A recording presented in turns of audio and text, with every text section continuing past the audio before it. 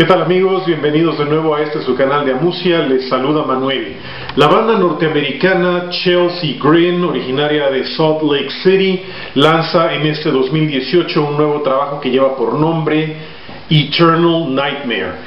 Y viene con la novedad de 11 canciones para un total de 37 minutos, pero también algo muy notable.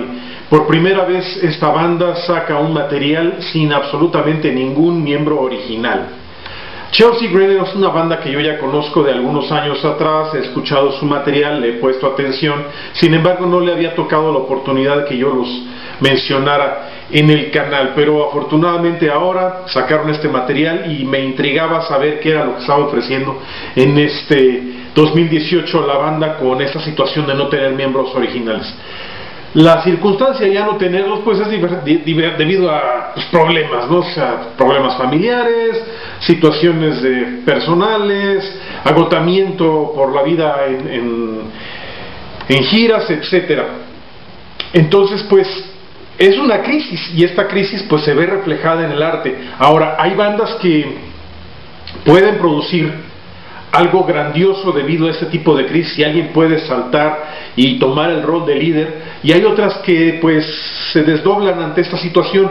¿Qué es lo que nos presenta actualmente Chelsea Green?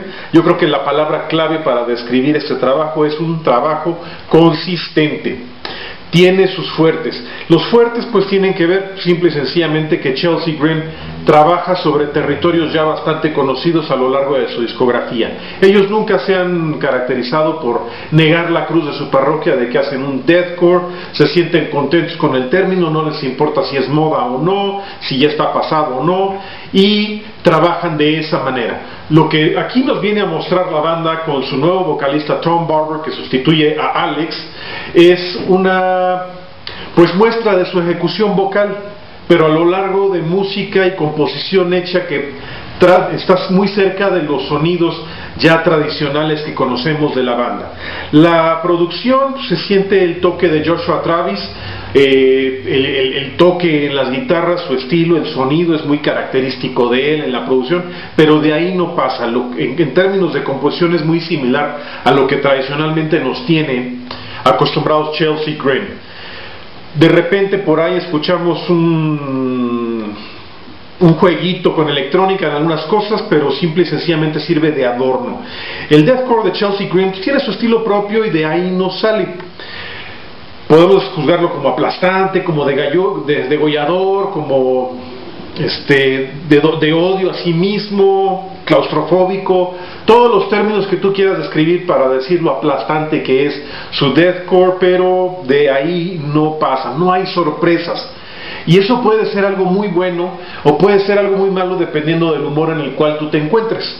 Yo en este caso, pues, eh, cuando veo una situación de este tipo, de que hay, hay nuevos integrantes por todos lados, pues lo que esperaba ser a lo mejor un cambio en la guardia, una idea nueva, algo así, que inclusive dependiendo si su resultado fuera exitoso o no en términos de composición, sería algo bienvenido en la banda porque le daría un toque distinto.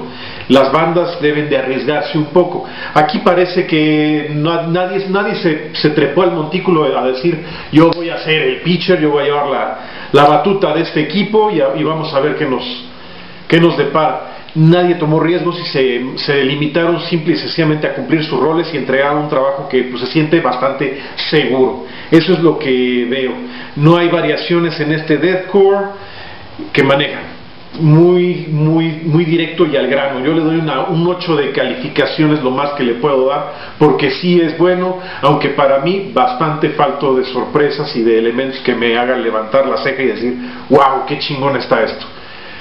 Sí tiene momentos memorables, sí tiene breakdowns que son agradables, puedes disfrutar muy bien de este trabajo, pero si estás tú buscando algo que te, que te llame la atención para decir, esto es una nueva estrella en, la historia de, Chelsea Green, pues yo creo que va a salir un poco decepcionado.